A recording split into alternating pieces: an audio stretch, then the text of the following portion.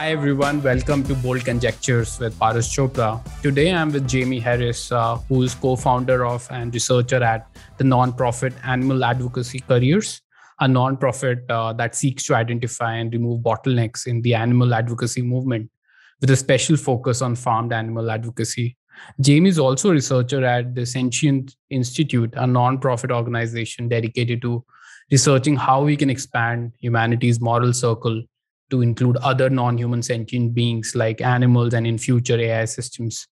Jamie's career is inspired by the effective altruism ideology, which aims to figure out how we can do the most good in the world. So, idea being, uh, you know, the the idea is to be rational about figuring out uh, which of our actions have the biggest bang for the buck when it comes to improving the world. So, as you can imagine, uh, from Jamie's focus, he believes that alleviating suffering for farmed animals is a high priority goal. So today, uh, I want to talk to him about uh, why he believes in that versus, say, helping poor or unhealthy humans, uh, where today's animal advocacy movement uh, is focused, and uh, what we can learn from previous social movements such as anti-slavery for achieving a world where animals are removed from the food supply chain. And it's a cause that I very much believe in. So I'm very, very excited to have Jamie uh, on this podcast today. Uh, welcome, Jamie. Yeah, thanks so much for having me. Yeah, excited to be here.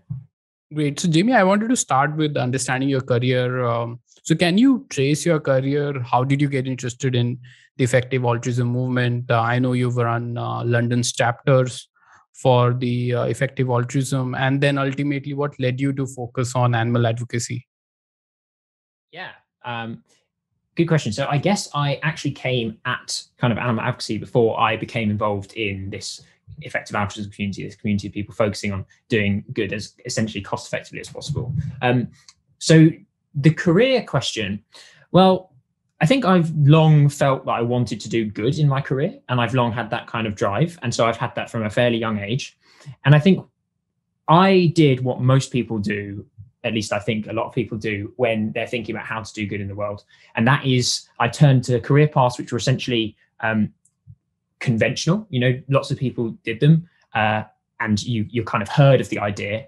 And I also turned to opportunities that seemed direct. You know, the path to impact, could do something and see the results, that sort of thing. So, from when I was in school, my plan was to become a teacher uh, because that kind of fits both those criteria. I knew plenty of people who were teachers. I'd been taught by teachers all my life and that sort of thing. Uh, and obviously, when you're teaching a bunch of students, you're in front of them and you can see the results. You know, you see them learning and you see the the brains, uh, the the kind of cogs whirring in their heads and all that sort of thing. So that's what I turned to, and I kind of assumed that that was what I was heading towards. So when I was at university, I didn't take opportunity take the opportunity to do kind of internships and things like that, which a lot of students do, because I was quite focused on being a teacher. I kind of just thought, right, that's it. I've, yeah. I've worked it out. Um, so I was building towards that, and I did do that. I did that for essentially three years. Um, my mind changed about this when I came across some ideas which I hadn't really considered before, and I think this is a this is a particularly complicated factor. So it's not necessarily like should be the deciding factor for everybody. But for me, the idea that changed my mind quite a lot was this idea of replaceability that I'd never come across, that I read about on the website of an organization called 80,000 Hours, whose whole purpose is dedicated to essentially helping people who want to do good achieve that through their career, basically. Um, and so this idea of replaceability is that you have to not just consider the direct impact you're having, but what would be happening if you weren't having that impact would there be someone else or something else having an equivalent or similar impact? And so the idea with teaching is that it's if I wasn't teaching those students, there would likely be somebody else teaching them something similar and probably to similarly well. Um, often I suspected that they would have been teaching it better than I would because I was quite new and kind of enthusiastic, but didn't have much else going for me as a teacher compared to other possible teachers you might have had. Um, so yeah, this idea of replaceability just made me less optimistic about it because if you count you essentially you can't count everything that you appear to be achieving as as if you've completely achieved that because somebody else would have done so anyway. Um, so what this kind of pushes towards is considering some some slightly more unconventional career paths that you might not have thought about. And like I said, I long wanted to do good. I'd, I'd kind of long had motivation to help animals. I kind of long seen uh, that they, their interests were not protected by everybody, and that there were things in that there were things which to me seemed uh, appalling that were happening to animals on a regular basis. So I kind of long had that as a as a motivation. I just hadn't really connected, joined the dots that I might be able to do good to help animals through my career, essentially. Um, and you know, I was I'd kind of I'd even founded like an activism group when I was at university, and I was part of that. But it didn't. I still didn't really think about the idea that I could actually work full time in the space. So I'm not sure where that mindset changed. I suppose I think it was probably to do, as you say, I, have been involved in kind of local community building in okay. London around this idea, and I think it was partly through that. You know, it's the way I got involved with that was actually I signed a pledge to donate 10% of my income every year. And just through signing that pledge, uh, I was connected to somebody who was doing that kind of community building in London, who reached out to me, and I became involved in that way. And just by organizing that community and thinking about the topics more carefully and kind of regularly, I suppose, and meeting with like minded people and that sort of thing, helped me to join the dots and realize oh i can i can potentially work in this space and i have things to contribute you know like i was quite quickly becoming quite knowledgeable about the subject matter and the kind of strategic considerations um, just by reading about these things in my spare time, essentially, and doing some kind of research in inverted commas of just kind of like summarizing what other people have done and that sort of thing. Just because it's a new area and there's not a lot of people doing it, that replaceability factor is less important um, because there are. It's not as. It's more kind of yeah. There are fewer really talented people pushing to to work in the space and that sort of thing in general. Right. So I could probably keep rambling, but I'll let you no, jump I mean, in. what what I what I find uh, really interesting uh, in your career arc is when you mentioned eighty thousand hours. Mm-hmm. Uh, I mean, reading that one idea had a perspective change. I mean, sometimes when we do intellectual work in terms of writing essays, I mean, I know your work uh, is a lot intellectual in terms of its products, which is research, reports, advice, and so on and so forth. I think sometimes it feels, uh, I mean, at least to me, when I write essays on my blog, it feels like uh, maybe whether it's having impact or not. But mm-hmm. hearing that uh, one idea, which is well framed, can make people question whether they are on the right path or not. I think it's gratifying to see that um, ideas having such a sort of a significant impact in people's careers, like it did for yours. Yeah, it definitely can. And obviously, that's very anecdotal. Um, I worry sometimes that I try and learn too much from my own personal experience and it's too anecdotal and I'm maybe an unusual person in a number of ways. Um, I, th- I do agree that you definitely, it does happen that just putting the ideas out there sometimes can make a big difference. Uh, but I do also think that a lot of the time, the way that we encourage change is often through the kind of behavioral support mechanisms as well. This is something that's come up in some of the research I've done for Sentience Institute on uh, I just kind of reviewed research that there is on health behavior. So that's about getting people to eat more healthily, smoke less, exercise more, those sorts of things. And the idea was reviewing that research with a view to seeing if any of it applies to the context of the farm animal movement. And particularly people are often in the farm animal movement, often making asks to do with diet consumption. And, you know, can you uh, eat higher welfare meat instead of low welfare meat or cut meat products out of your diet completely, that sort of thing. Um, okay. And just as a it's a it's a very broad generalization and this i'm sure many people object to the characterization i'm about to give but of the interventions i looked at the ones that were purely kind of educational informational they did you know in all these meta-analyses hundreds of scientific studies kind of analyzed on these topics overall they do tend to have an effect. It's a small effect but there's a significant effect that kind that comes out in these meta-analyses but the effects tended to be somewhat larger in interventions that had at least some kind of behavioral component as well. And so that could be motivational interviewing which is where you kind of speak to people and kind of encourage them to take action on their plans. A, a quite a concrete example is there's this thing called action planning which okay. is one of several techniques that people use where it's along the lines of if I encounter this particular barrier, I will do this thing. So in okay. in in healthy diet, the the the example is often things like, oh, every time I want a bar of chocolate, I will have an apple instead, or something okay. like that.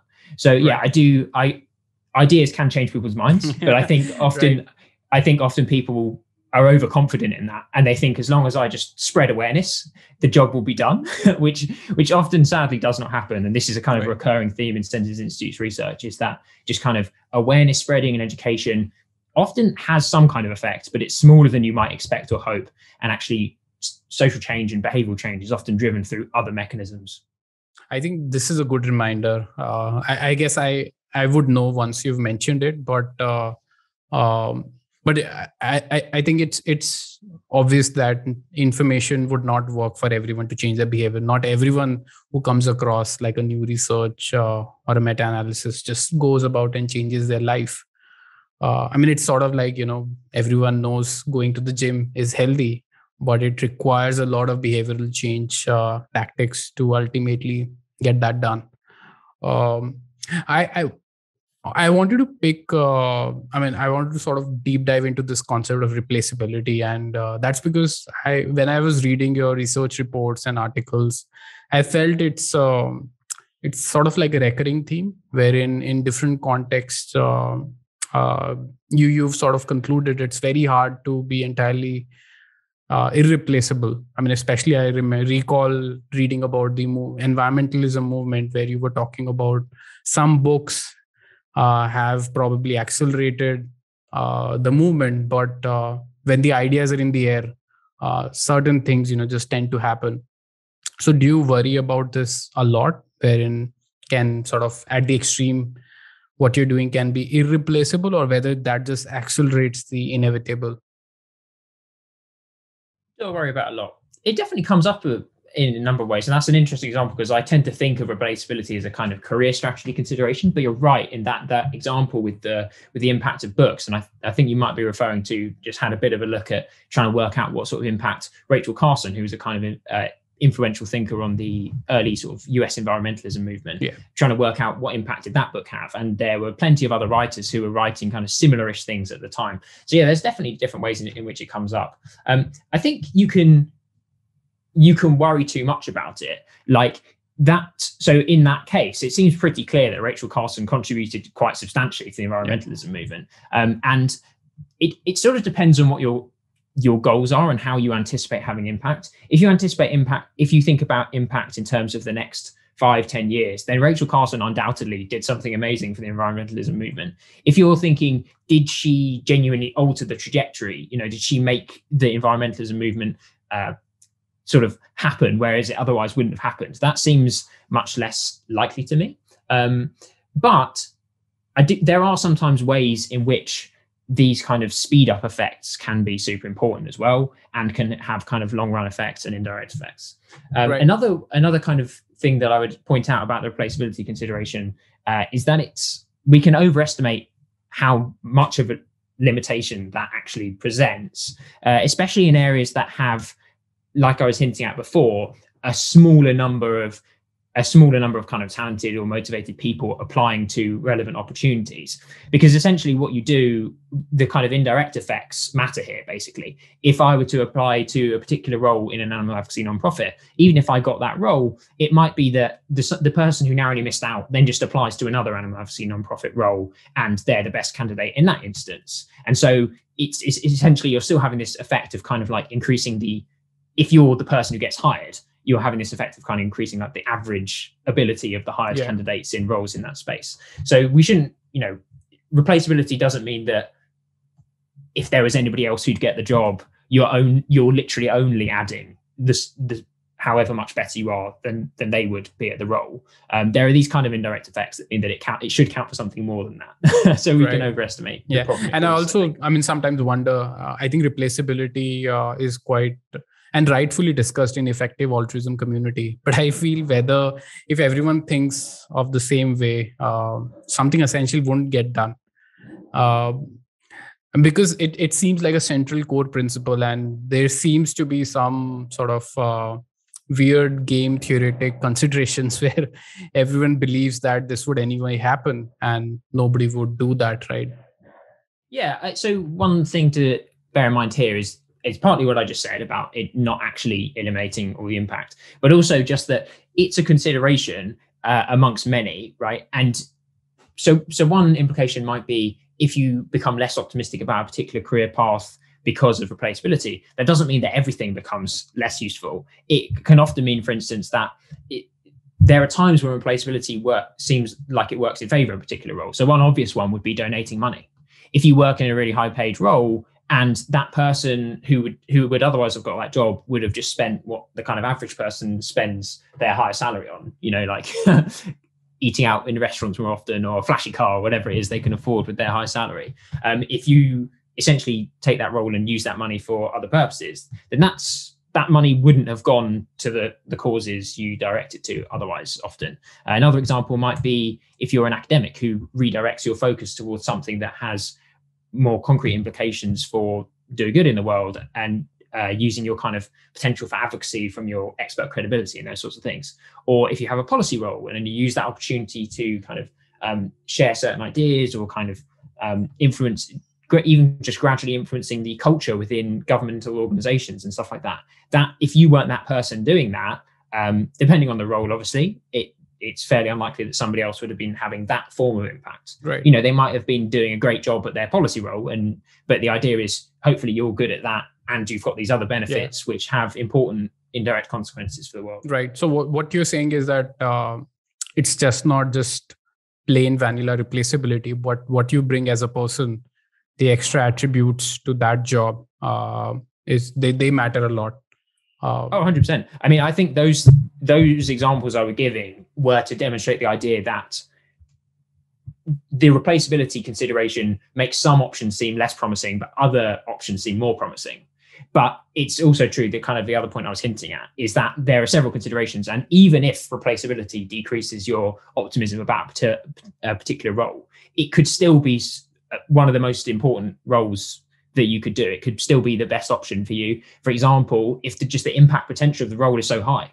Uh, if you imagine, I mean, let's just take a silly example. Uh, if you imagine, actually, no, let's go for something slightly more concrete.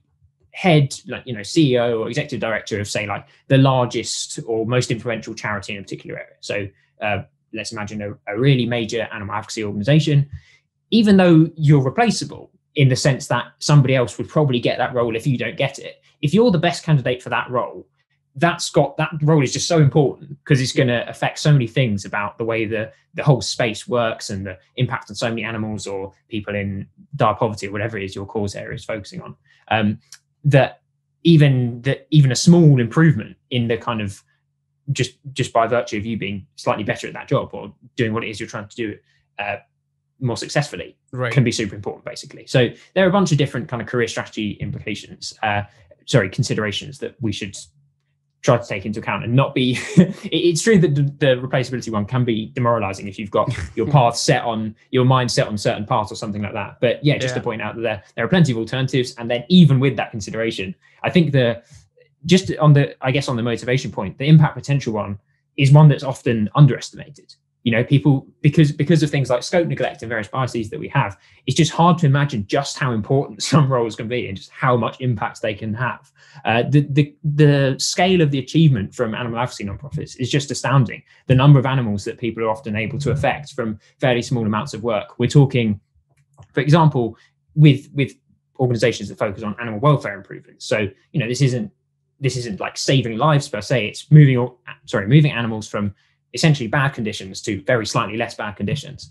But just by virtue of the, the sheer number of animals that they can affect, and if we're focusing on these kind of short term effects, um, if you manage to get a company that affects millions of animals in the supply chain to change that, you're having a, a massive amount of, of positive yeah. impact. So I, I, think people just can't, it's, everyone does this. It's very hard to comprehend yeah. just this, the scale of these effects that, that these organizations really have. Um, so yeah hopefully that is a kind of counterbalancing right. motivational factor yeah. to the yeah i mean like like you were saying uh, teaching say 10 students feels very concrete mm-hmm. that you're making a difference but perhaps changing or being part of a movement which changing is changes regulations for mm-hmm. farmed animals uh, that affects billions of animals mm-hmm. that that doesn't sort of uh, i mean you don't feel that in the gut but the impact is ultimately several orders of magnitude more if you truly care about making world a better place. Yeah it can be but i guess this scale consideration there are kind of different dimensions of that as well. Like you could think of it still being a small number uh, but just like extremely important. And so one example might be uh, I mentioned before, like very large numbers, very small change, but you could go the opposite way and you could think like a very small number, uh, a, a, massive change and it being super important. Or like even in the teaching example you could imagine somebody who's teaching like if there's a some kind of class to future political leaders of several countries in one place like that would probably quite be quite impactful kind of uh, assuming right. you're doing something that's useful as opposed to something that's counterproductive. So there are ways in which it's not just about a raw numbers game. There are ways in which um, just that it's a kind of broader importance consideration right. there. yeah. So uh, jamie i wanted to discuss uh, this debate around humans versus animals and who you should help I know you felt uh, sort of naturally inclined towards animals, but as an effective altruist, uh, you need to defend why you're not focused on helping humans who might be suffering from poverty or some health condition versus helping animals. And how do you defend that? Yeah. Well, I, the first thing I want to say is that these causes are all important, right? Um, and I think sometimes uh, this kind of prioritization exercise again can either be demoralizing or come across as a bit callous but it's not intended to be callous. It's intended to think we want to help. Let's help as much as possible. So the first thing i want to say is just like what i'm about to say does not denigrate the work that is being done on these super important causes. You know if you can help people move out of poverty uh, and move into from from a a, diff, a very difficult life to a slightly less difficult life, then that's super important. That's amazing. If you can save lives of people in countries where uh, their lives are at risk for preventable factors, then that is amazing work. So I'm not trying to knock that down. Um, and that's you know these are these are real things and these are real individuals we're talking about. Even when I'm talking about numbers, we're talking about big numbers of individual animals. So I want to just get that across. Um, in terms of why I prioritize it, well, to be bluntly honest, I like I said, I came at effective altruism from an animal advocacy perspective. Uh, so I had this kind of these kind of personal emotional reasons, which I don't necessarily endorse as like good reasons to prioritize this. Uh, so you could say there's maybe some bias there, although my, my views are changing on this. Um, so I suspect it's not that I'm entirely doing this purely due to due to just having come from that context.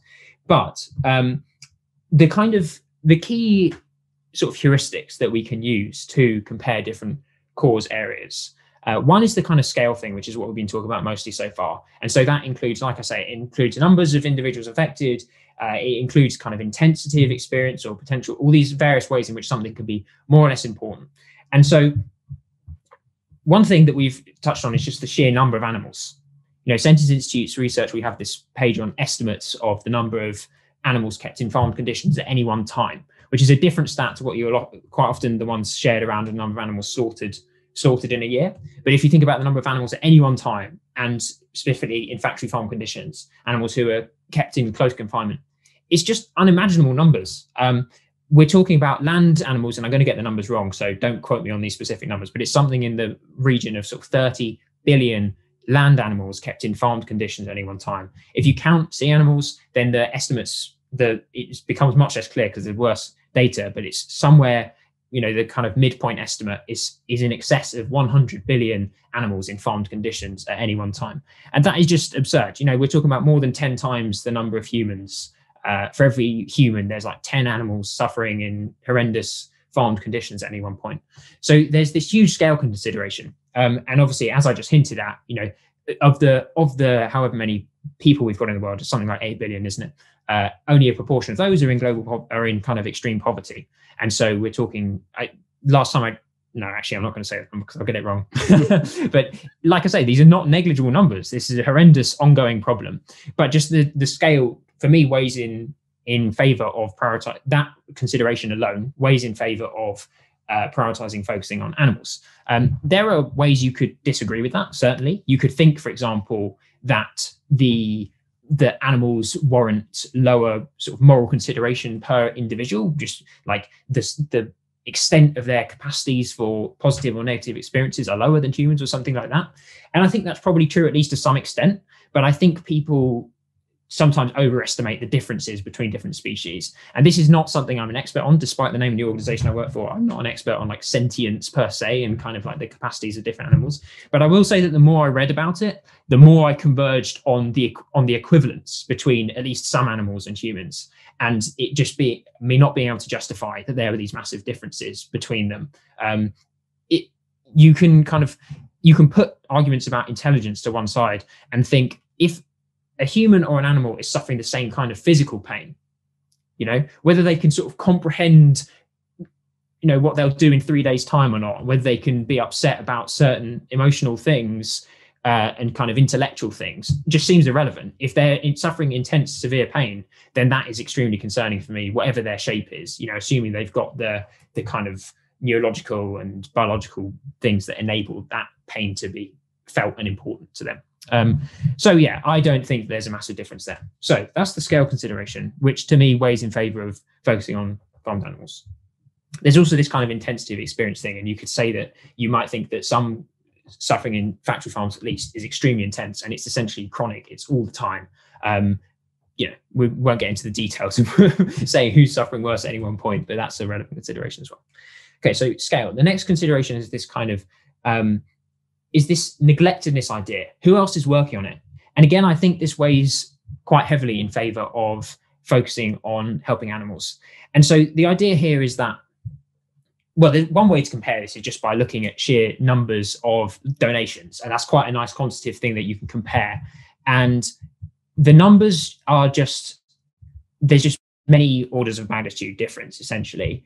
Uh, yeah, if we think about the, so, so there there are not currently good exact numbers on the amount of donations that go to animal advocacy, uh, but there have been some estimates by informed people that are probably not too far off.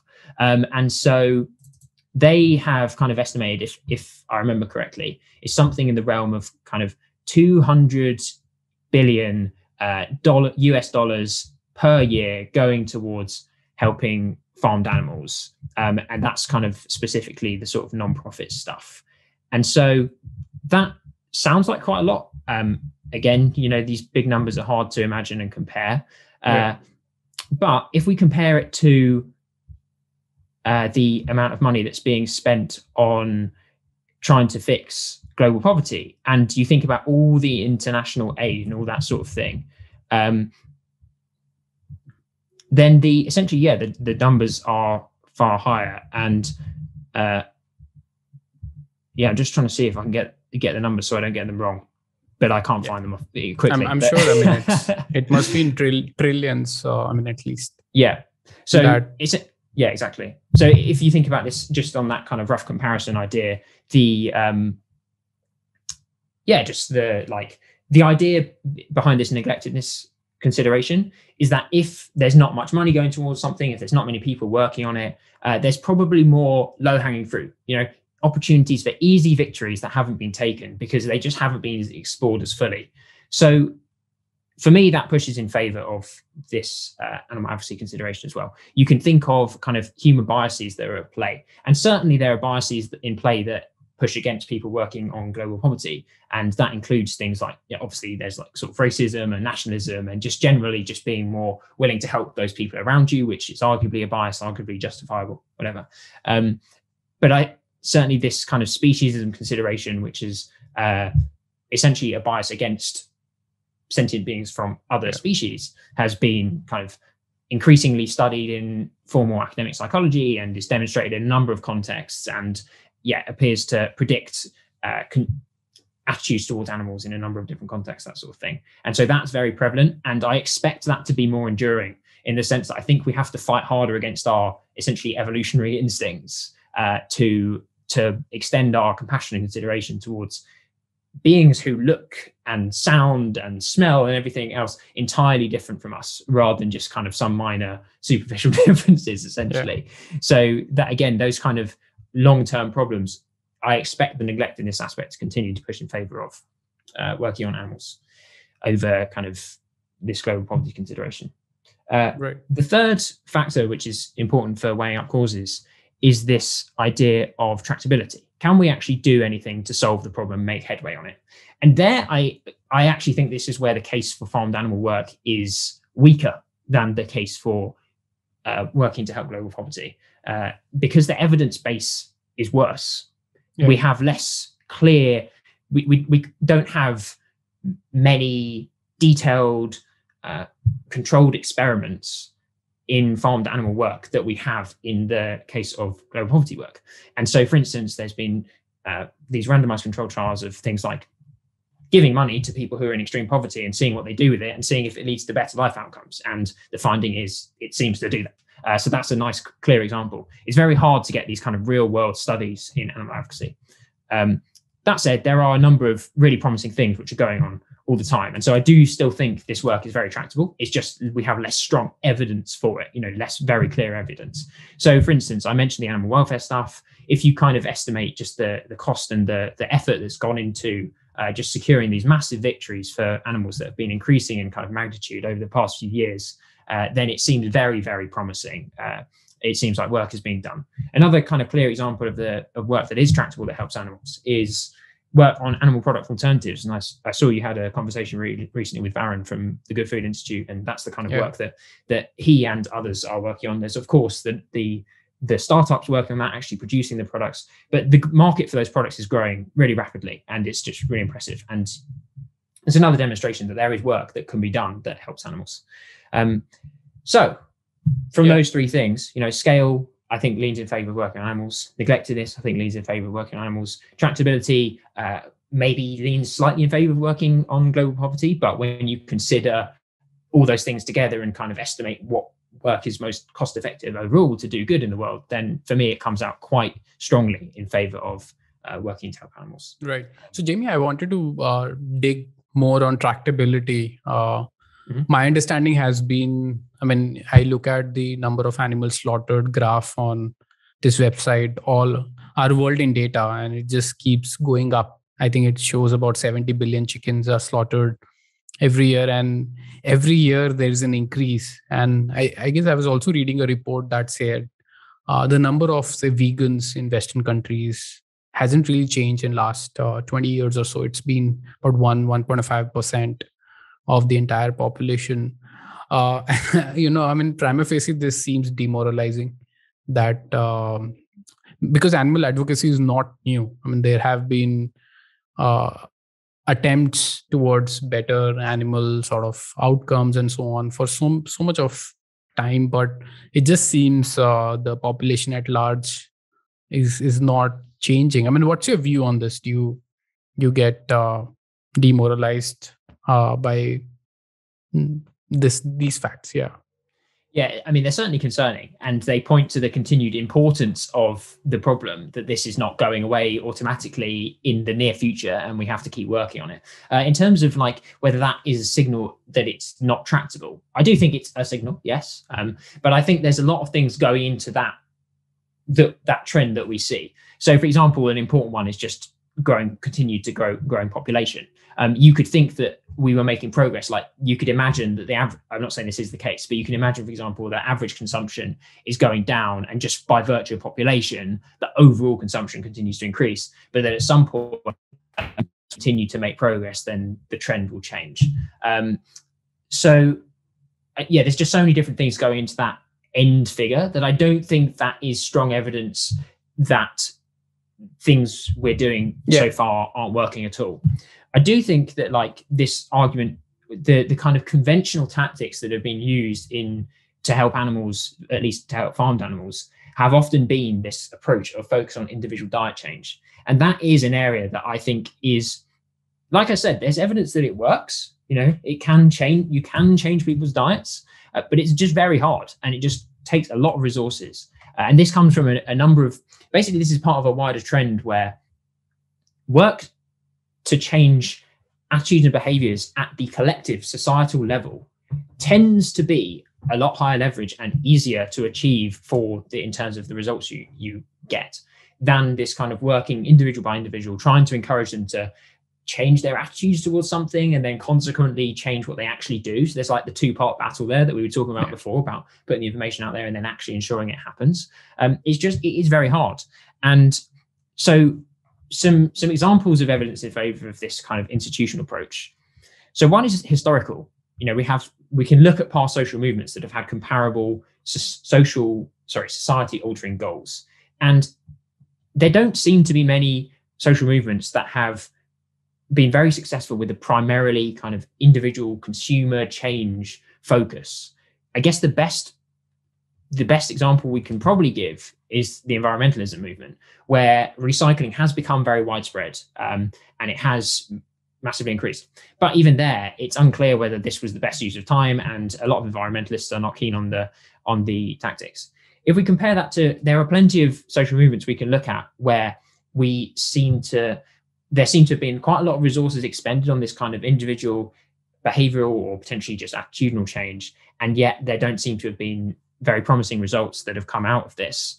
Um, yeah, so one example would be the the anti-abortion movement, where there's this effort to reduce people's decision to uh, end their pregnancies essentially. And that has involved in the us at least where i've looked at it has involved a lot of kind of approaching women and trying to encourage discourage them from going through abortions. It involved a lot of education campaigns stuff like that. There's various tactics but there's very little evidence that's actually achieved anything um, it seems some of the some of the kind of legislative tactics that the anti-abortion movement have tried ha- seem to have had stronger effects on reducing the incidence of abortion so we don't seem to see where resources have been spent on these tactics. They don't seem to have had very substantial effects. There's also evidence from the anti-death penalty movement and some of the other movements we've looked at, which is all written up on the Institute's website, but won't go through every single detail.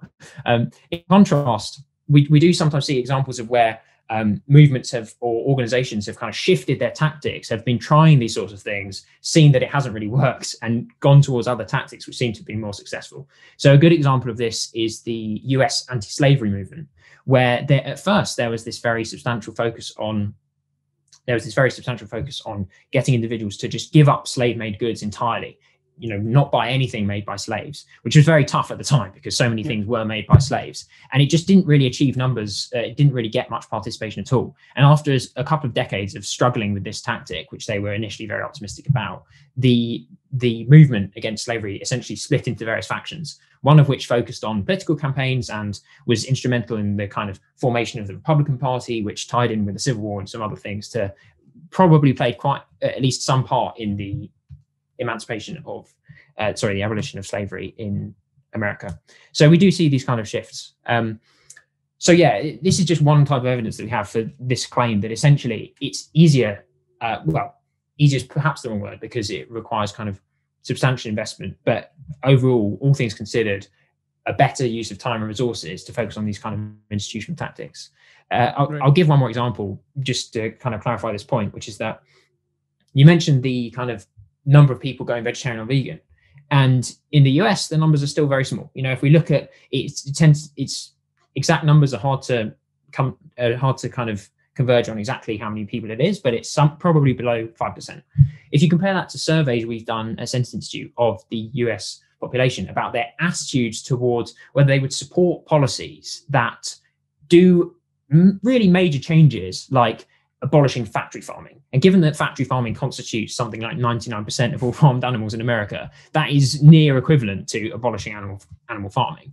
Um, we've asked them about abolishing, sorry, uh, banning uh, slaughterhouses. And both of those two questions, once you exclude people who said no, no opinion, is nearly 50% support okay. for those things. It's you can do various manipulations that make it seem lower, and you can say, oh, well, maybe there's all these things that mean that we can't interpret it exactly as 50%. And I'd agree with that. But it's still a much higher proportion than you probably expect based on the number of vegetarians and vegans alone. It suggests that people are willing to support these major societal changes if they can kind of, you know, it's a part of a collective effort. They can externalize the blame and it can be like, as a society, we need to do this rather than saying, well, I've been doing this incorrect thing all my life and I need to go through all these steps to change it. Uh, so essentially, yeah, this this idea that these kind of institutional changes seem more tractable. Um, and as I say, it's something we've done quite a lot of research on. Uh, if people want to dig into that, I'd recommend we have a page on our website called the Foundational Questions in Effective Animal Advocacy, which lists out a number of these kind of key strategic questions like institutional versus individual tactics, like uh, confrontational versus non-confrontational tactics, and just kind of summarizes some of the most important arguments and evidence on either side of those debates. Yeah, I mean, I love going through that page. It's uh, really thorough. I'll definitely put a link to it uh, in the podcast notes. Uh, but I'm very surprised about the survey uh, where so many people support something which they would not follow if the regulation wasn't there. Uh, what's your hypothesis about this difference? I mean, it seems like a 10x difference between what people support and what they ultimately do in their individual lives. Yeah, I mean, I think there's a bunch of things there. So, like one um, one way of thinking about this is that if you are in a predominantly non-vegetarian society and you want to go vegetarian, it takes you know a lot of vegetarians and vegans will tell you it's super easy and you can do it if you're motivated, but not everybody is really motivated to do it. It's something they think they probably should do, but they you know it, it's it's it's still difficult enough that they won't do it. If you alter the conditions that it's no longer super difficult for them to do it, um, then they maybe they would just do it kind of by default. You know, people uh, there's only you know people don't tend to kind of um, push against social norms in uh, as proactively as that. So you can imagine that somebody would think, yeah, we should change this. Like I agree. I just don't have the motivation, or it's too difficult, or all those sorts of things. Um, so, so it's partly that I think these practical factors that if you alter the conditions of the, in in which people live, then they would make those changes. But right. in the current world, they haven't, and they probably won't in the near future if conditions stay the same. I think there's also what I hinted at before, where there's this kind of moral outrage thing, which is where if you imply like it's the government's fault, you know, it's society's fault, as opposed to like you as an individual have done a bad thing all this time, then people are much more willing to get behind those sorts of things. And uh, this this isn't a purely theoretical thing. This is a thing that results in actions. You know, actions as small as like signing a petition or voting one way or another, but those actions can have real world consequences. So that that difference in attitude can be super important. Right. Um, so so Jamie, if if a listener of this podcast uh, wants to start their career in animal advocacy uh, what how would you guide that person to be most effective? And i know you have the entire uh, website of uh, your non-profit towards that but just at a very high level how should they think about being effective at animal advocacy? Yeah it's a good question. Um, I'm trying to think what's the most coherent way to answer this concisely because the problem is with these career consideration things is that they affect people that everyone's situation is different. And I mentioned different kind of career strategy considerations and one very important one is your personal fit. And relatedly is kind of what's your advantage compared to other people who have similar goals to you.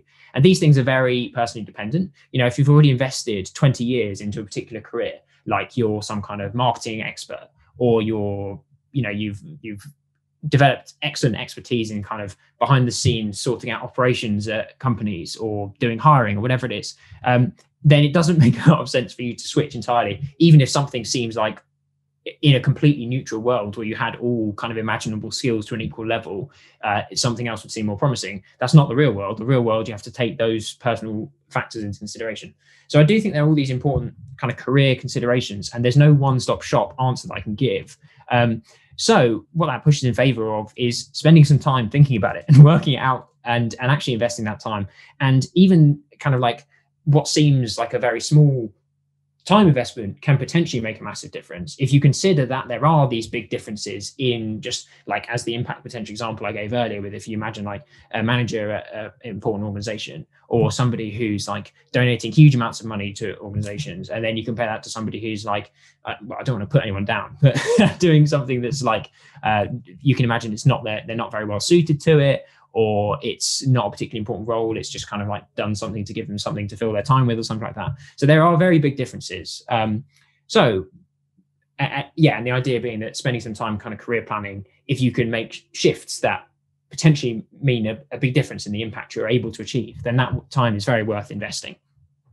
So the answer in terms of like what I actually recommend is essentially, as you say, have a look at the website. We've got a page uh, called Glossary of Terms, which summarizes some of the some of these kind of uh, career strategy considerations I've been talking about. We also last year ran an online course to kind of walk people through the details of kind of where the animal advocacy movement is at at the moment and integrate some of these career strategy considerations. We haven't launched it publicly yet, but we're it's looking very likely that we're going to do at least one other kind of cohort of that online course later this year. So, uh, depending when you put this when you put this episode out, uh, people should definitely see if that's available at the, at the time, and if not, just kind of subscribe to our newsletter, and we'll probably advertise it in the near future. Because, yeah, as I say, kind of work, working through understanding those considerations and then seeing how they apply to your own situation is super important. Right, right. So, related question to this, uh, Jamie, is um, uh, I, I was going through what you've written, and one of the things that struck me was that sometimes uh, animal advocates end up doing things that actually harm the advocacy movement. For example, maybe things around, say, being very flashy or confrontational. Uh, particularly, some of the movements uh, have have developed a public image which is uh, which is slightly repulsive to other parts of the society. Uh, so, can you elaborate more on that? You know what what is that animal advocates can do unintentionally uh, that ultimately sort of harms the entire movement? Yeah, um, I mean, there are plenty of things you could do which accidentally have kind of indirect negative consequences. Uh, yeah, so I, several examples jump into mind. I'm trying to think which would be most sort of coherent to summarize now. You mentioned the controversial tactics example and the kind of confrontational tactics. And to be clear, I do think that confrontational tactics, at least at times, have a place in the movement. Um, and uh, to clarify, I don't mean um, like violent tactics. I mean confrontational, as in it could be, for example, doing a public protest to encourage an institution to switch something. So I do think that they can have an important role in that sort of thing. You know, if you've already got uh, public support for a particular change, and this is just about pressuring an institution to actually make that switch and introduce the new rules or whatever it is, then I do think that confrontational tactics can often be worthwhile. But there are other ways in which they could be counterproductive. And so uh, the, the, violent tactics is an example there. Um, this is something that in the UK, uh, animal advocates are, at least many I've spoken to, are, are very regretful that the animal advocacy movement in sort of the 90s did have this violent edge, which has kind of caused these long-term difficulties for the movement um, and substantially reduced its credibility in various ways. Another example there would be the anti-abortion movement that I mentioned before in the US. That's kind of notorious for its various violent tactics and confrontational tactics. And at least there's some evidence that this has kind of decreased credibility of the movement. Uh, and potentially support and potentially some kind of institutional changes have been more diff- made more difficult. A very obvious example of how it, how these tactics can result in problems is because they can lead to legal restrictions on the activism from that movement. And so, in the case of the anti-abortion movement, there were in- restrictions introduced like you can't get within a certain distance of an abortion clinic uh, and do. Oh certain protests or something like that. So there's these, you know, it's very clear that they did protests and confrontation at them, and they were restricted from doing that because uh, because it kind of alienated decision makers. So that's an example of where it could be very negative in the kind of immediate short term for a movement. Another example, which is so at Sentience Institute, I haven't really kind of spoken very much about these kind of considerations because it just adds a lot of complexity. But we're actually our main kind of driving focus is thinking, is kind of strategizing for how to have the most positive effects we can on the very long term future. And so that includes ensuring that the animal advocacy movement is kind of sustainable and successful. Um, and actually, this is in my so I also run a podcast with the Sentience Institute, and in the most recent episode, which we released yesterday, I was discussing with Tobias Baumann from the Center of Reducing Suffering about what he thinks are the most important kind of changes that somebody should make if they have these kind of long-term goals for the movement, as well as just kind of helping animals as much as we can in the short term. Uh, and one one idea that he is quite keen on is that we avoid um, making the kind of similar to what you were touching on is that we avoid making the movement uh, divisive or kind of repugnant in some ways and this is essentially like for example if we continue to use especially polarizing tactics or even potentially if we just align very clearly with one kind of political ideology over others uh, that it could become that it, it adopts this continuously kind of confrontational dynamic. And that could at times be beneficial. But the idea is that longer term, that could be very problematic, especially, I mean, for instance, it, if, if it resulted in, if, for instance, you'd allied with a particular ideology and then that ideology, uh, for essentially unrelated reasons, suffers and, and loses out, and then the animal advocacy movement is kind of inextricably tied with that, then the movement and its ideas could not only be discredited but vilified. Um, you can you know you can think of you can think of some alternative scenarios where it works out especially well, but it seems an un, and essentially an unacceptable risk and a, not one we'd we want to kind of endorse if we can avoid it. So that's another example of how these kinds of there are, there are things you could do which could have negative effects. I think you mentioned I think you were referring to there's this kind of publicity stunt example. Yeah. Um, and this is one that I've been thinking about recently, which is where partly there's just a credibility thing here um, and reducing the credibility of the movement, giving it less support, those sorts of things. Another one that I've been thinking about is actually just that awareness of the movement. And I mentioned that kind of we're often assuming that just putting education and ideas out there is all you need. But for some movements, and at some certainly at some times, increased awareness could actually be a bad thing. Um, and so an example of this is that some of the research I've been reviewing recently on kind of attitude change suggests that if people are more informed about a particular topic, it tends to be harder to change their mind because they've already got relevant evidence and opinions and those sort of things. They've committed to a position that if somebody knows more about a topic, it's hard to change their mind in other direction.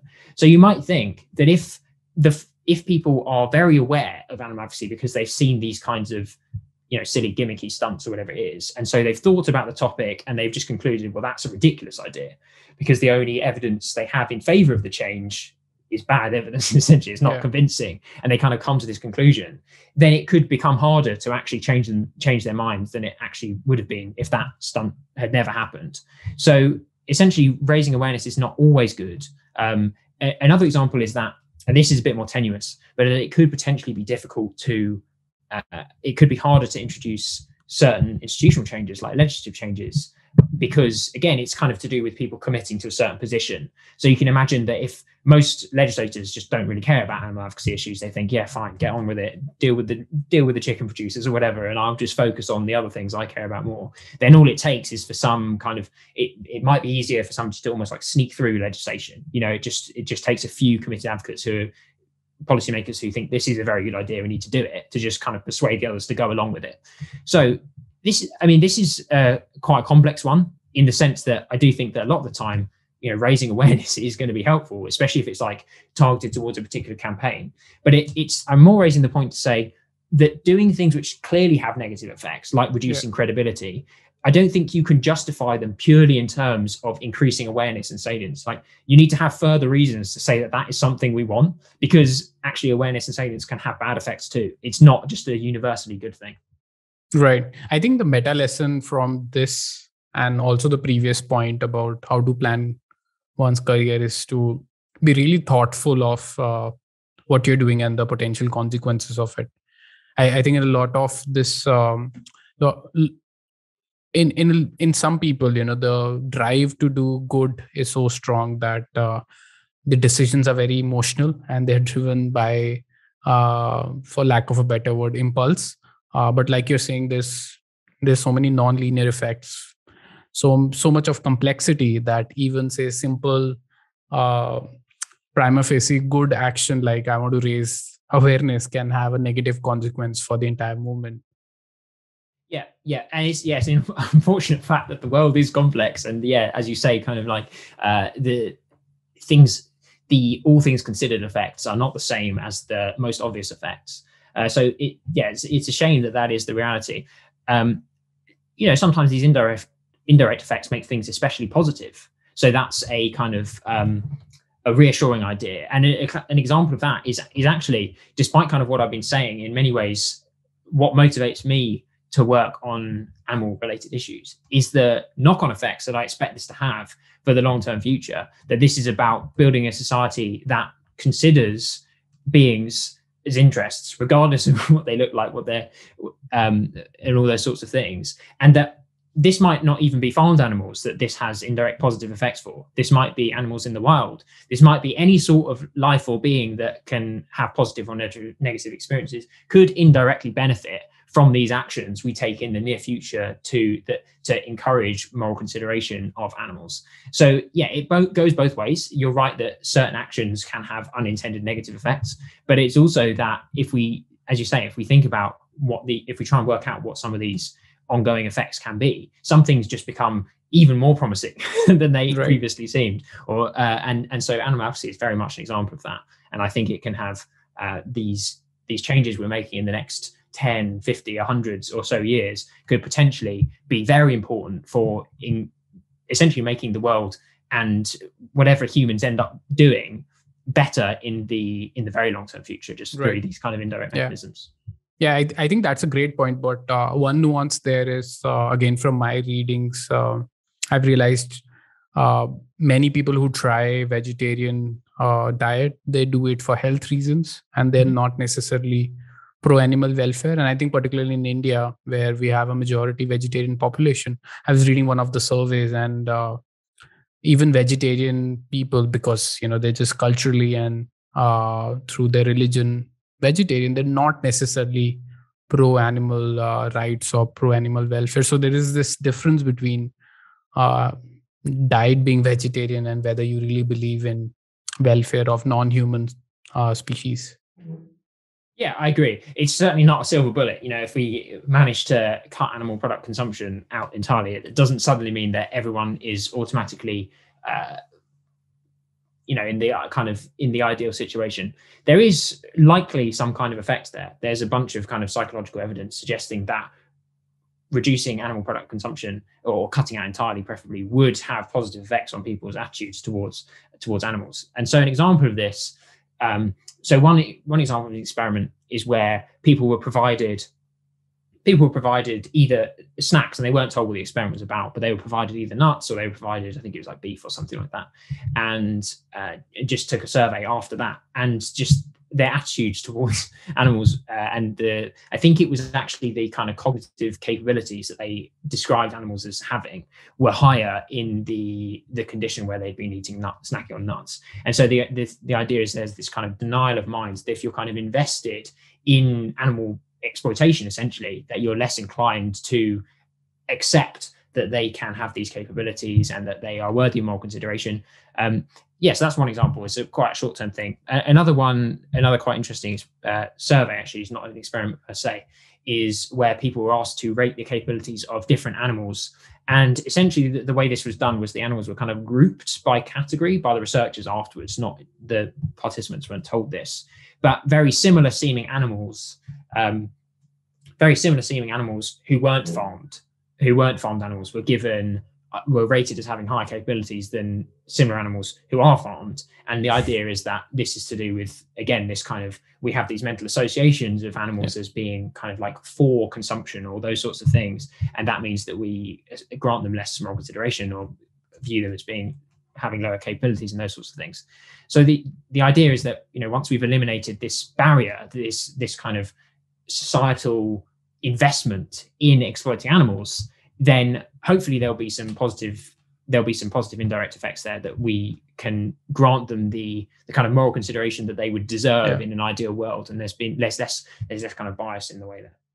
Right. So this is uh, i mean this is what's generally known as the long term long termist attitude within the community right? Where and I, I guess i wanted to touch on this point with regards to helping humans. I've seen some effective altruists make a case that uh, helping humans is better because humans have so many follow-on effects where they can uh, i mean they have culture they they can invent technology. But if you help an animal that's about it. There is no follow-on uh, benefits. But your point is that it can definitely have a follow-on benefit wherein our moral circle expands beyond humans. Exactly yeah. So it, I'm not suggesting that the reason that there are indirect effects is because the animal will then go on to do other things, um, which is kind of the case, uh, I guess, presumably the argument that might be advanced as some of those human focus causes. I'm, I'm actually suggesting that the positive indirect effects come through changed attitudes and behaviors in human society. But yes, I do think that there are these very important indirect effects from the advocacy we have.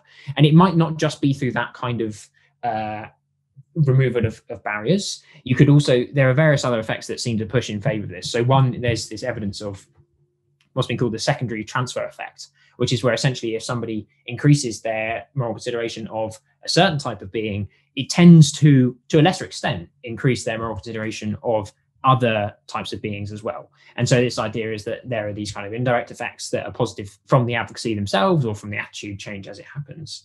Um, you could also think there's just a kind of capacity building thing here, where it's about building a movement that is focused on granting beings the consideration that they deserve given the capabilities that they have. And so you might think that once factory farming is abolished or once we've ended animal farming or whatever your goals that you're striving for are, that those kind of goals of helping other sentient beings essentially can be applied in another context and there's already this kind of momentum built behind this and to some extent you might think that that has been happening over the past few centuries with the expansion of humanity's moral circle that we've already seen with regards to things like um, gender and race and all those sorts of things. And there's some evidence that, in some contexts at least, there's like overlap between these various movements that are pushing on the, the frontiers of humanity's moral circle. So, for example, with the British anti slavery movement, some of the key advocates in the British anti slavery movement in the late 19th century were also people who were advocates, uh, sorry, advocating for children's rights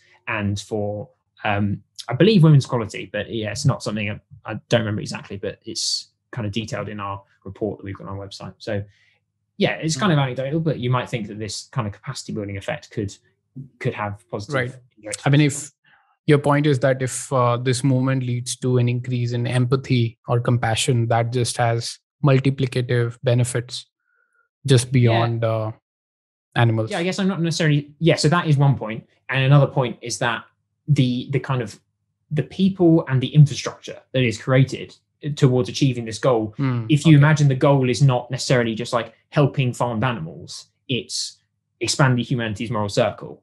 Uh, then even if the movement kind of changes shape a little bit once certain goals are achieved or whatever, then the capacity is there and the ability to then take it to the next step or whatever the next challenge that is needed to to advance that broader goal uh, that the same kind of infrastructure would carry over. Right. So, uh, Jamie, uh, when it comes to learning from history, the social movements, uh, I guess one of the differences uh, that animal advocacy movement is that animals can't speak up for themselves, they can't protest. Um, so, what lessons can we import given that uh, it is essentially a, a re- I mean, in one sense, quite different from what has happened before in terms of, say, anti-slavery or women's right or children's right and so on where uh, these beings themselves these people could protest but animals obviously cannot. Yeah you're absolutely right to highlight that as an important factor that kind of reduces the comparability of at least some social movements with the farm animal movement and therefore reduces the the weight that we can place on any particular strategic implication we might draw from that. Um, and so for example yeah the example you give there about them being advocate for themselves for example, you might think that like that makes it that should make us slightly more skeptical that certain tactics that were used in, say, the US civil rights movement would translate across equally, because that was a movement which was driven substantially, if not exclusively, by the essentially the underprivileged groups themselves, the groups that were seeking to be included more strongly in yeah. the moral circle.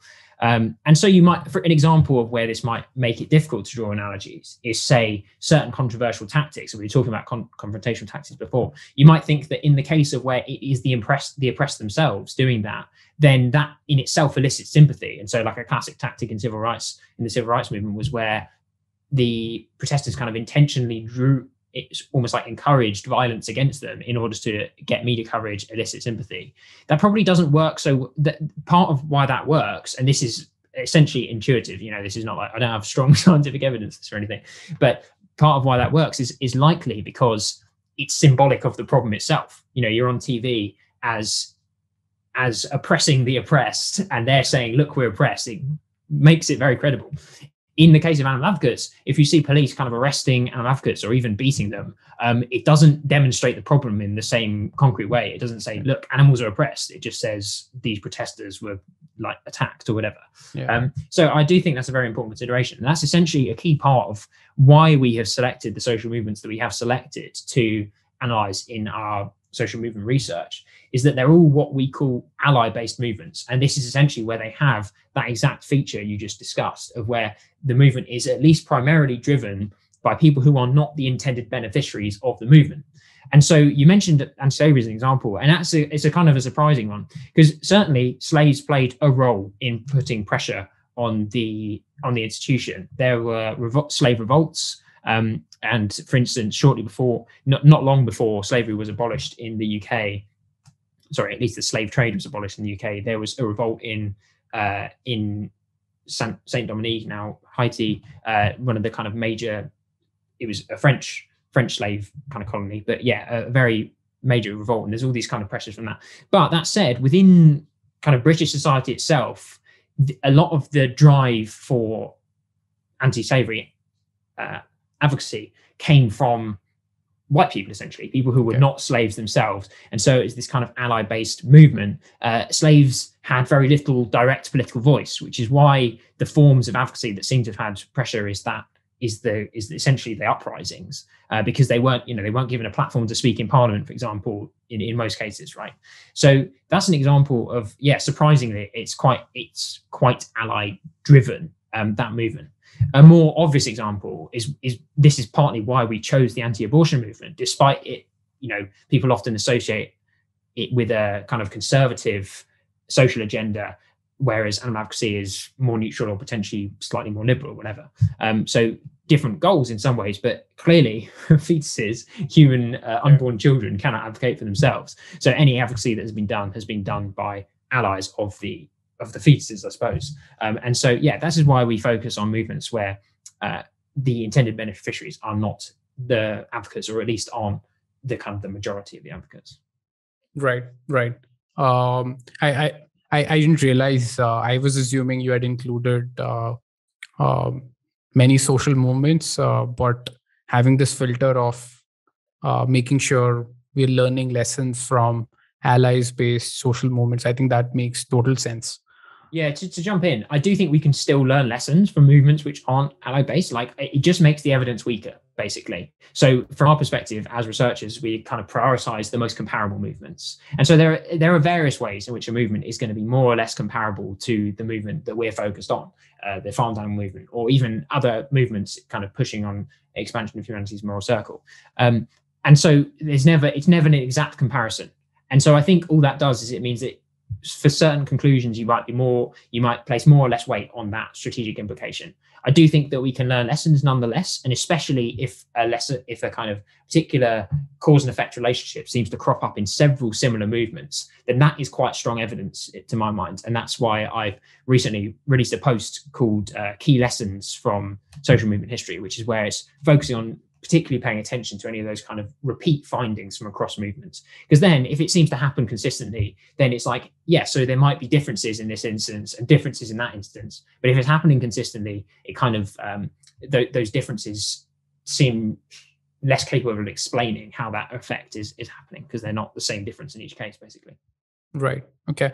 Uh, so, Jamie, um, I want to touch a bit on artificial sentience. Uh, in um, in in the Sentience Institute you talk about expanding the moral circle beyond humans and uh, i think animals is very intuitive and obvious. Uh, a lot of people will agree to that. Uh, but when it comes to artificial artificial sentience uh, i guess we still don't understand uh, the causal mechanism for sentience. So how do you i mean in that case isn't the job really difficult? How do you identify what piece of software is sentient or not. And I, I, know i'm asking a really hard question and they may not be a straightforward answer but i would love to sort of pick your brains on how do you approach this question of what software should we include in our moral circle and what should we exclude? Yeah i mean that is a very tough question. And to be bluntly honest it's not a question i foresee us having a clear answer to um, for a very long time if ever. Um, my case for working on this is not that I am very confident that certain types of beings already warrant moral consideration, or even that they will in the near future, is that it's plausible to me that some of these entities will, and that it comes back to the numbers argument that the numbers could potentially be so huge. So I'm going to just back backtrack a little bit and think about just kind of the. So I mentioned before the kind of scale as being one one important heuristic that would affect whether we think a cause is important. And if we think about just like the size of human population to date, at the moment it's 8 billion. Um, if I recall correctly, uh, it's if you count up all human life that has existed so far, is something in the realms of 100 billion. It might be yeah. more. It's not the exact stat. Um, but the point is that future life, given that we're now at this large population, it does. If you think, if you imagine that humanity will keep existing even just on this planet until the planet is no longer inhabitable, then that is an extremely long time. It's you know it's yeah. many millions of years, and if the population keeps going, then humans themselves will keep existing for there's going to be a huge number of human lives um, going forwards and it's just like i can't even tell you the numbers and they're hard to imagine like if you put if you kind of represent a figure on the screen with one human life sorry a, a billion human lives as one as one person then it takes up many screens worth many many many screens worth just to represent on earth alone uh, this is this is actually a being written about this this kind of graphic demonstration is from a forthcoming book by William MacAskill um, called What We Owe the Future. Um, so, yeah, the, the point is that the human future alone is potentially absolutely massive in scale. Um, and if we imagine that humans might be able to go beyond this planet as well and potentially colonize other planets in the long term future, and potentially they will have uh, very powerful computers, artificial intelligence, and so on that makes this just the scale of human life very large indeed. Uh, if we then kind of why this is potent, why this links into the artificial entities idea is that along with the massive scale of human life, there could be an absolutely massive scale in artificial life, and we can come back to in a second to whether it counts as life or not. Um, but you can imagine with those kind of computing powers that I that I just discussed, you could have very many kinds of computers and sort of processes within those computers that are very complex and that potentially we think should warrant more consideration. And so an example of this would be in a simulation.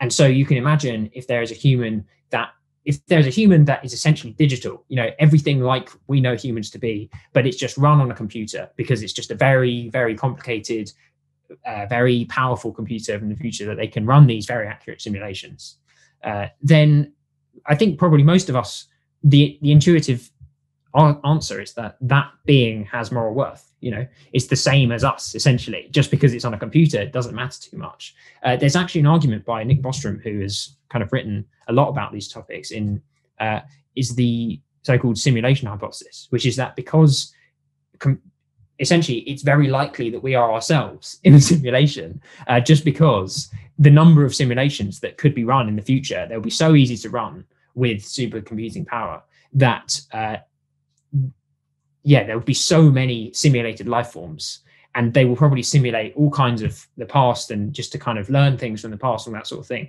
that we could ourselves be simula- uh, simulated, and that's quite likely. So there are examples of like where artificial life looks very much like human life. You know, it could be a simulation, it could be uh, developments in technology that allow us to kind of closely replicate human brains, all that sort of thing, where the capabilities are essentially the same. It just is run in a slightly different way or created in a slightly different manner.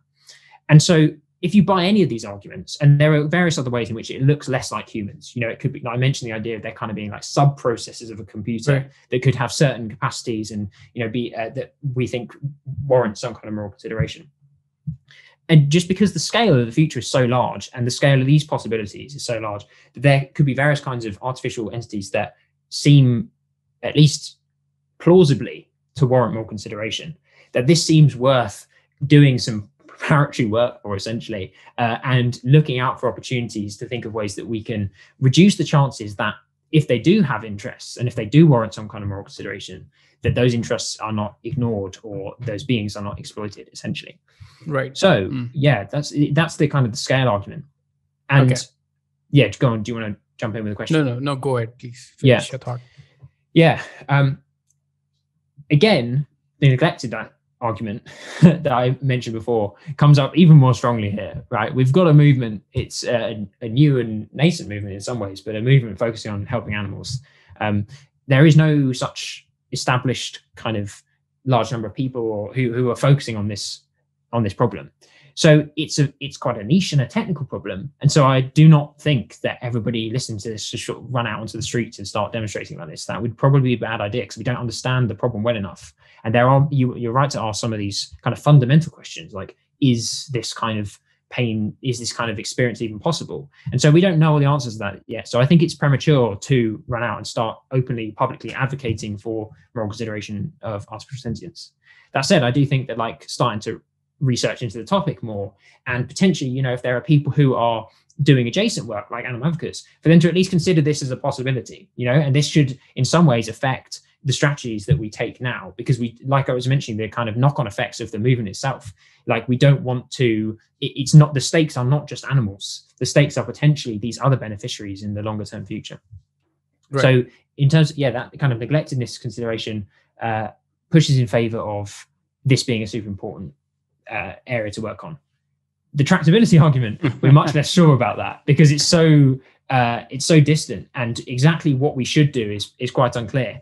But yeah. there's a lot of uncertainty here and that suggests that at least some people should kind of work on do some initial work on this topic and try and work out what seems promising if anything. Um, because potent- because how important it could be you know it doesn't take it might not take that much effort for us to learn a lot about how prom- just how promising and important this is for us to work on. Right okay. So jamie since we are at the end of the time i wanted to just end with this question uh, in terms of your impact uh, how do you sort of keep a track of what you're impacting? I know i mean i i mean i don't know whether these are metrics but from a day to day week to week month to month perspective what gives you the satisfaction that you're in the right direction or uh, whether you should sort of change tracks or do something else or yeah i mean what's your sort of uh, metric or uh, feedback mechanism that you're on the right track yeah, it's very tough. It's very tough for all this kind of uh, sort of meta work that works with other advocates and other people in these movements. Um, I'll, I'll, answer first with Advocacy Careers, the nonprofit I co-founded, because that there are some kind of more concrete things that we can do to measure this. So one example um, of one of the things that we're doing, I haven't kind of talked about this so far, but one of the things that we're doing is working with nonprofits to help them find candidates for their high priority roles. You know, if they're struggling to find a particular uh, person to fill that role, then we can try to help them find the person who would fill that role and fit it well. That's actually quite a tight feedback loop. You know, we can yeah. we can get the feedback. Oh, well, look, we found the person, uh, and there's still uncertainties like how much what you know all those replaceability type things. So there's things like that but we can at least get some useful metrics or proxy metrics and we kind of plug them into some kind of model that estimates what kinds of impacts we're having that sort of thing.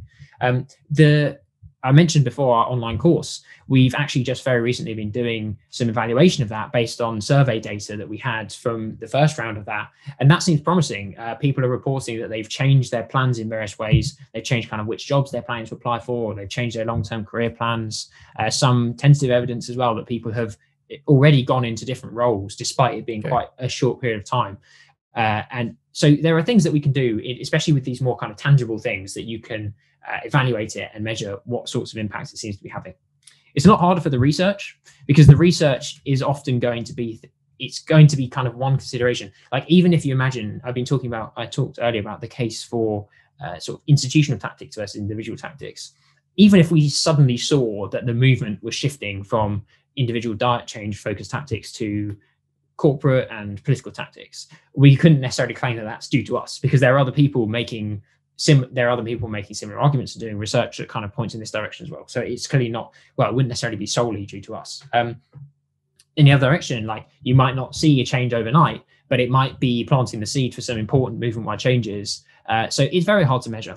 You can do things mm. like survey your stakeholders and we've done a little bit of that and we'll probably do some more of that in the future. You can do things like uh, if you're if one of your key audiences is academics you can do things like track academic citations and all those sorts of things. So there are things you can start to do but yeah that is that is harder than my work at Advocacy careers to measure what impacts that is having. Fantastic. Uh, thanks uh, thanks jamie for coming uh, on this podcast and having a conversation with me. Uh, i really enjoyed it and uh, i will put all the links to different reports and articles you mentioned here in the notes. Uh, and hopefully, you'll continue uh, doing uh, more impactful work at both of the nonprofits that you work at. Great. Yeah. Thanks so much. Thanks for having me. Yeah. Just, I guess, some last shout out. So, just to kind of clarify what I think are some of the most useful things that people could could go away and do if you are interested in spending your career in ways that help animals. And that's not necessarily working directly for nonprofits. It could be all sorts of things. It could be in policy, it could be in research, it could be donations please do have a look at our website, Advocacy Careers. Sign up for our newsletter because hopefully we'll have the online course soon. Uh, some of the more, you know, the strategic stuff I was talking about, Sentience Institute. Top recommendation would be that foundational question summaries page that we have on our website that kind of lists arguments for and against. Some of the stuff we talked about later towards about uh, artificial entities. We do have some work on on our blog and forthcoming on our research page. So yeah, have a look at that if you're interested in that stuff as well. But yeah, thanks so much for having me, and I, I hope Bye-bye. listeners have benefited as well. Thanks. Yeah, I'm sure they have. Uh, they'll benefit. Okay. Bye bye. Take care. Thanks.